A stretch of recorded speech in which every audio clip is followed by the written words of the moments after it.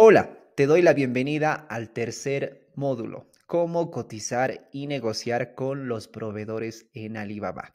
Antes quiero darte las gracias por llegar hasta este punto.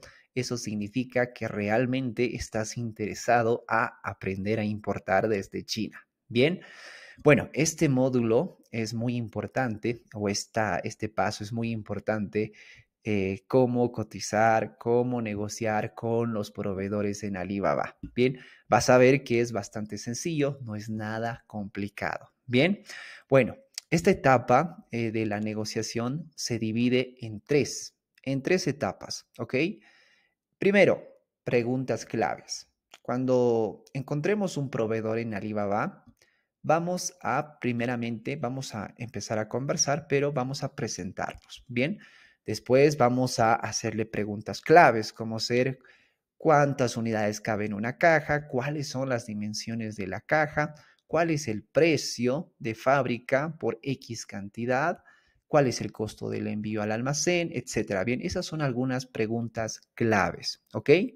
La segunda etapa es detallar. Tenemos que pedirle al proveedor detalles, características técnicas del producto que queremos importar. Bien, esto es muy importante. Tenemos que definir bien las características del producto, porque en China eh, de un producto hay muchas versiones, ¿no? Entonces tenemos que definir bien que sea la versión eh, del producto que nosotros queremos importar. Bien, una vez que hayamos definido esto, las características del producto, pasamos a la, a la tercera etapa, bien, que es el pago y el seguimiento al proveedor. Bien, vamos a dividir este módulo o esta, esta fase de la negociación con los proveedores en estas tres etapas. ¿Ok? Vamos con el ejemplo en Alibaba. Estamos en Alibaba eh, vamos a hacer el ejemplo con este producto, ¿ok? Que es un coche tanque, es un juguete bastante novedoso que lo estamos importando para Navidad. Bien, vamos a tomarlo como ejemplo, ¿ok? Tú, eh, si quieres importar cualquier producto, entonces haz eh, la práctica con el producto que quieres importar, ¿ok? En este caso, vamos a hacer el ejemplo con este producto. Bien, ponemos acá la palabra clave, ¿no? Eh, está en inglés, Tank Weather Bomb Toys, que es juguete, ¿no? Juguete de eh, bomba de agua. Bien, esa es la palabra clave en español. Bien, como puedes ver acá tenemos varias opciones, ¿no? Tenemos varias opciones. Vamos a ingresar a la primera, ¿ok? Vamos a ingresar a la primera. No vamos a analizar al proveedor. Eso lo vimos en el módulo 2, cómo ver si el proveedor es seguro, confiable, cuáles son las variables que hay que analizar. Todo eso lo vimos en el módulo 2. Si no lo viste, puedes ingresar a la serie de videos que, que he subido a mi canal de YouTube. Ahí lo vas a encontrar. Bien, en este caso vamos a enfocarnos directamente en la negociación con el proveedor. Bien, en la conversación. ¿Ok? Estamos acá. Bueno, queremos importar este cochecito, nos es bastante interesante, entonces nos vamos directo a cotizar, a conversar con el proveedor. Bien, ¿cómo lo hacemos? Nos dirigimos acá donde dice hablar ahora, le damos clic ahí. Acá se nos va a abrir una ventanita, ¿no? Un chat, como puedes ver, ¿ok? Y acá vamos a enviar un mensaje al proveedor. Bien, muchos eh, tienen problemas, ¿no? Y dicen, ¿qué le voy a decir al proveedor? Eh, ¿Qué le voy a preguntar? ¿Cuáles son las preguntas claves que debo hacerle? ¿No? Ah, muchas veces se hacen esa pregunta, pero acá te voy a dar las preguntas claves que tienes que hacerle a tu proveedor, ¿ok? He creado una plantilla con las preguntas claves que tienes que hacerle al proveedor. ¿Ok? Esta plantilla lo puedes descargar totalmente gratis. Acá abajo voy a poner el enlace a la carpeta Drive. Tú lo descargas y puedes empezar a trabajar con esta plantilla, ¿ok? Esta plantilla está enfocada especialmente para eh, las negociaciones vía marítima. Bien, eh, si quieres aprender a importar vía aérea pequeñas cantidades, Más adelante voy a hacer otro video, otro curso, bien, pero en este curso nos estamos enfocando en las importaciones vía marítima, bien. Bueno, ¿cuál es el primer paso? Cuando tenemos que presentarnos con el proveedor, ¿ok? Todo lo que ven, eh, todo lo que ves marcado en rojo es, eh, está en inglés, bien, y abajo está en español para que puedas comprender mucho mejor, ¿ok? Entonces, acá primeramente vamos a presentarnos con el proveedor, ¿no? Le decimos, hola querido amigo, mi nombre es Iber Isaya, soy de Bolivia y realmente estoy interesado en comprar tu producto, ¿no? O realmente me interesa tu producto, es lo que le vamos a decir al proveedor, ¿ok? Entonces copiamos lo que está marcado en rojo, volvemos a la plataforma Alibaba perdón, estamos acá, ¿bien? Estamos acá y vamos a pegar, ¿no? Envía. Ya enviamos nuestro mensajito. También podemos apoyarnos con una captura, ¿no? Indicándole que estamos interesados en este producto. ¿Bien? Entonces, primero nos presentamos al proveedor y le indicamos con la imagen cuál es el producto que queremos cotizar, ¿ok? Ahora, vamos a hacerle preguntas claves, ¿ok? ¿Cuáles son las preguntas claves que tenemos que hacerle al proveedor? Son las siguientes. Acá lo podemos ver, ¿ok?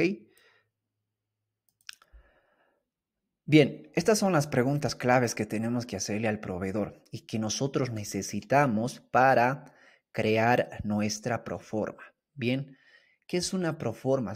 Quizá te estés preguntando, una proforma es un archivo con los datos de la mercancía. Bien, ya lo vamos a ver enseguida, no te preocupes. Estas son las preguntas claves. Primero, vamos a pedirle cuál, cuántas unidades caben en una caja, ¿no? En, en inglés, how many pieces fit a box. Bien, en español, ¿cuántas unidades caben en una caja? Es la primera pregunta clave que le vamos a hacer. Esto es muy importante. Necesitamos saber cuántas unidades caben en una caja de ese juguetito, ¿no? Que es ese coche bomba. Bien. Segunda pregunta clave. ¿Cuáles son las dimensiones de la caja? Bien. Esto también es una pregunta muy, es una pregunta clave. Necesitamos las dimensiones de la caja, bien, para eh, determinar el volumen. A través de las dimensiones de la caja podemos determinar el volumen de la caja y esto es muy importante. Bien, cuando importamos vía marítima nos cobran según el volumen que ocupe la mercancía. ¿Ok? Entonces, en inglés sería, what is the size of the box? Bien, esa sería la pregunta clave en inglés. ¿Ok? Tercera pregunta clave, ¿cuál es tu mejor precio por X cantidad? ¿No? Digamos que tú quieres cotizar por 100 unidades, ¿no? Entonces le preguntas al proveedor, ¿cuál es el precio? ¿no? ¿Cuál es tu mejor precio por 100 unidades? Le tienes que hacer esa pregunta clave. En inglés, what is your best XW price por 500 unidades, ¿no? Esta palabra clave que ves acá EXW es un término de comercio internacional, ¿bien? Que significa precio de fábrica, ¿ok? Generalmente los proveedores manejan este término, ¿bien? Te van a decir, eh, el precio EXW es 5 dólares, ¿no? Y hace referencia a eso, que es precio de fábrica, ¿bien? No incluye envío al almacén, tampoco incluye los gastos portuarios o trámites de exportación, ¿bien? Bueno, siguiente pregunta clave. ¿Cuánto es el envío hasta mi almacén? Es la pregunta clave. En inglés, what is the shipping cost to my warehouse? Bien, esto es importante porque si vas a importar pequeñas cantidades, un metro cúbico, dos metros cúbicos, entonces necesitas consolidar en un almacén. Bien, pero quizá te estés preguntando, ¿cómo consigo un almacén? No te preocupes, puedes trabajar con nosotros tenemos almacén donde consolidamos carga, bien, o con cualquier empresa de transporte. Todas las empresas de transportes eh, o empresas de, o agentes de carga tienen un almacén en China donde consolidan. Bien. Eh, siguiente pregunta. ¿Cuánto tiempo demorará la fabricación? Bien, o cuánto tiempo tomará la fabricación. Es una pregunta clave. Bien, eh, muchas mercancías toman dos semanas, incluso un mes, o hay algunas que lo tienen listo para entregar. Entonces es muy importante preguntarle eso, ¿no? ¿Cuánto tiempo va a tomar la fabricación? ¿Ok? Entonces, esas son las preguntas claves que debemos hacerle al proveedor. ¿Ok? Enseguida vamos a ver un ejemplo. Ahora, es importante que conozcas estos términos, ¿ok? Términos de comercio internacional. Si quieres saber más sobre los términos de comercio internacional, internacional eh, voy a subir un video completo en mi canal de YouTube. Bien, este tema es bastante amplio, ¿no? Son más de 11 términos de comercio internacional, ¿bien? Pero los que más se utilizan y lo que vas a utilizar son estos dos términos, ¿bien? Export Price y FOB Price, ¿bien? ¿A qué hace referencia el Export? Esto hace referencia a precio de fábrica, es decir, el proveedor te va a vender puesto en su fábrica, ¿bien? Pero tienes que negociar con el proveedor precio de fábrica con envío al almacén. Ese es el término que te recomiendo, ¿bien? Precio de fábrica con envío al almacén. Es el mejor término eh, que puedes negociar. Bien, si quieres trabajar con nosotros. Ahora, también hay la opción de negociar for price, que ya incluye precio, eh, incluye flete de fábrica al almacén y también incluye trámites de exportación. ¿Ok? Pero eh, la que yo te recomiendo es export price, es decir, precio de fábrica con envío al almacén. Bien, ese es el término que te recomiendo. ¿Ok? Si quieres saber más sobre los términos de comercio internacional, voy a subir un video completo a mi canal de YouTube donde te voy a enseñar todo lo, todo lo que tenga que ver con los términos, ¿bien? Porque es bastante amplio este tema, ¿ok? Pero para importar pequeñas cantidades vía marítima, no necesitas saber más que estos dos términos, ¿bien? Bueno, vamos a ver con un ejemplo, ¿ok? Acá yo ya me puse en contacto con el proveedor, bien, justamente de los cochecitos, bien. Eh, acá, ¿no? Le, le mando la foto, le digo, antes me presento, ¿no? Le digo, hola, querido amigo, eh, estoy interesado en comprar tu producto, bien. Le digo acá, ¿cuántas unidades cabe en una caja? La primera pregunta clave, bien, ¿cuántas unidades cabe en una caja? Eh, y el proveedor me responde acá, ¿bien? En una caja cabe 24 unidades. Ahí ya tenemos la primera respuesta clave, ¿bien? Segunda pregunta clave, ¿cuáles son las dimensiones de la caja?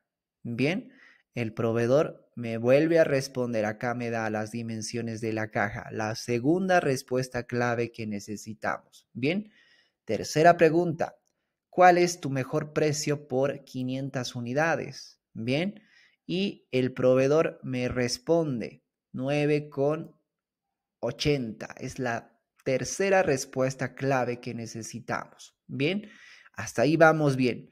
Acá me pasa información, detalles del producto. Bien, las dimensiones. Bien, acá me da algunas características del producto. ¿Ok? Eh, yo le digo que prefiero este modelo y acá ya le pongo la cantidad definitiva que quiero importar. En este caso, 1992 eh, es la cantidad definitiva que quiero importar. Bien, y el proveedor acá eh, me da a 9,80. Bien, la cuarta pregunta clave que le hago al proveedor, ¿cuál es el costo de envío hasta mi almacén? Acá le paso la dirección de, de mi almacén. Bien, y que me cotice hasta ese punto. Bien, el proveedor me dice, ok, te lo voy a calcular y acá ya me da el precio, ¿no? Por 1092, que serían 83 cajas, ok, el envío te va a costar, me dice 215 dólares. Bien, acá yo ya tengo toda la información. Con estos datos vamos a hacer una proforma. Bien, te voy a enseñar a hacer una proforma. La proforma es muy importante, ¿ok? Con todos estos datos vamos a hacer nuestra proforma. Bien, te voy a enseñar cómo hacer una proforma, ¿ok? Con los datos que nos ha proporcionado el proveedor. Esto es muy importante, ¿bien? Cuando quieras cotizar el flete, eh, siempre te van a pedir una proforma. Bien, no le puedes presentar, no sé, le puedes no le puedes decir el precio es, no sé, 40, voy a importar 50, no. La manera formal es esta. Tienes que hacer una proforma, ¿ok? Y acá te lo voy a enseñar. Bueno, Vamos a hacer el ejemplo con, estos, con este cochecito. Acá ponemos la imagen, bien, en esta columna donde dice foto, ahí vamos a poner una pequeña captura del, del cochecito que queremos importar, ¿ok? Acá podemos añadir un código, eso ya lo vamos a ver más adelante, bien. Descripción, acá vamos a poner coche bomba. Bomba de juguete, ¿ok? Ese es el nombre del producto. El HC code, ya más adelante vamos a ver, el HC code es la partida arancelaria del producto, ¿ok? Más adelante lo vamos a ver. Ahora, acá es muy importante, unidades por caja, ¿no? ¿Cuántas unidades cabe en una caja? Es lo que nos pregunta acá, ¿bien? En este caso, el proveedor nos ha indicado que en una caja cabe 24 unidades, ¿bien? Entonces ponemos acá 24 unidades. Bien, ahora, el total de cajas que queremos importar, pongámosle, por ejemplo, 1, ¿bien? 1. Y el total unidades, ¿bien? Multiplicamos, ¿no? Una caja por 24 sería 24 unidades. Pero si queremos importar dos cajitas, ya se va a hacer 48, ¿bien? Porque multiplicamos 24 por 2, el total unidades sería 48, ¿bien? Si importamos tres cajitas, ya va a ser 72. Bien, en este caso vamos a mantener dos cajas. Bien, ahora, siguiente, vamos a poner las dimensiones de la caja. Esto es importante. ¿Ok? Esto ya nos ha proporcionado el proveedor, las dimensiones de la caja. Y justamente lo tenemos acá. Bien, tenemos las dimensiones, vamos a copiar 64. vamos a poner 64 64 eh, por 29 por 29 por 74.5. Bien, 74.5. Perfecto. Estas son las dimensiones de la caja, el ancho, alto y fondo. Bien, ahora vamos a aplicar la fórmula. Bien, esto que ves acá que dice CBM esto hace referencia a volumen. Cuando escuches hablar o veas esta palabra clave, CBM o metros cuadrados, hace referencia a volumen. ¿Ok? Entonces, vamos a determinar el volumen de la caja de este, de este producto. Bien, ¿cómo lo hacemos? Vamos a aplicar la siguiente fórmula. La fórmula para determinar el volumen de una caja es la siguiente tenemos que multiplicar las dimensiones de la caja y dividir por un millón. El resultado nos va a dar el volumen de la cajita. Bien, vamos a aplicar la fórmula. Multiplicamos las dimensiones de la caja y dividimos por un millón. ¿Ok? Esa es la fórmula. Damos OK. Y acá tenemos el volumen de esta cajita es de 0,14, ¿ok? El 14% de un metro cúbico.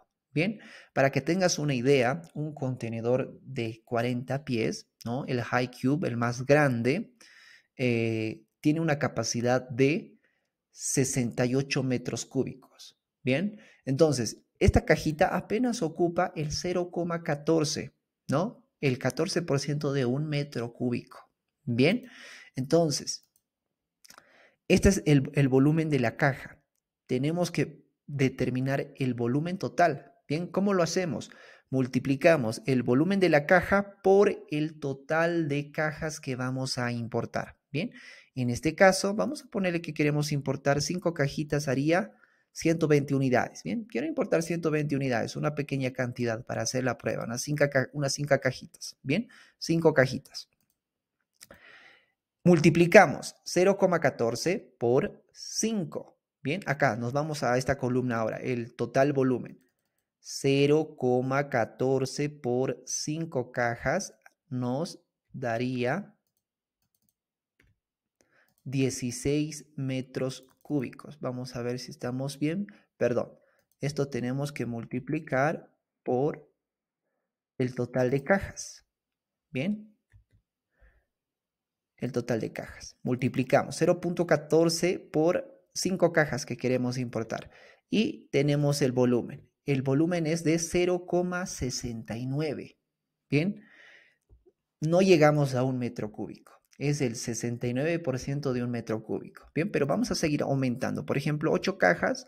8 cajas ya haría un metro cúbico y 10. Ya superamos un metro cúbico. Bien, en este caso, para mí 8 cajas es mucho, entonces solo quiero importar 5 cajas. Bien, ya después puedo completar con otros productos para completar el metro cúbico. Bien, entonces Voy a importar 5 cajitas. y Mi volumen es 0,69. Bien, 0,69, es decir, el 69% de un metro cúbico. ¿Ok? Acá faltaría 0.30 para llegar a un metro cúbico. ¿Ok? Ahora, acá ponemos el precio. Bien, el precio. El precio es 9,80. ¿Ok? Ahora multiplicamos 9,80 por la cantidad total que vamos a importar. En este caso vamos a importar 120 unidades. Bien, por 120 nos daría 1176. Este sería el valor de nuestra mercancía. ¿Ok? El valor. Esto es valor de la mercancía puesto en fábrica. Bien, aquí hay que sumar lo que es, el envío al almacén. Bien, y esto hay que cotizar al proveedor. En este caso, por 120 unidades, tendríamos que cotizar al proveedor y tendríamos que preguntarle cuánto es el costo de envío por 120 unidades hasta mi almacén. Bien, en este caso, digamos que nos da una respuesta de 50 dólares. Bien, ponemos ahí 50 dólares. ¿Ok? Ahora, vamos a también considerar los gastos de origen. Este gasto de origen incluye almacenaje, trámites de exportación y demás. Bien, y es un costo fijo. Esto en el caso de que trabajen, en el caso de que trabajes con nosotros. Bien, nosotros tenemos este costo fijo por los gastos de origen. Bien, es un costo fijo. Así traigas por un valor de 10 mil, 20 mil dólares, es un costo fijo. Bien, eh, o así traigas varios ítems de 20, 30 proveedores, no hay problema. Es un costo fijo. ¿Bien? Y tampoco incrementa según el volumen que importes. No, es un costo fijo en origen, ¿bien? Entonces, este costo fijo es de 75 dólares, ¿bien? Y el envío ya tú lo tienes que sumar, ¿no? Si vas a importar de varios proveedores, tienes que ir sumando el envío de cada uno de los proveedores, ¿bien? Por ejemplo, puedes hacer lo mismo con otro producto, ¿no? Con smartwatch, por ejemplo.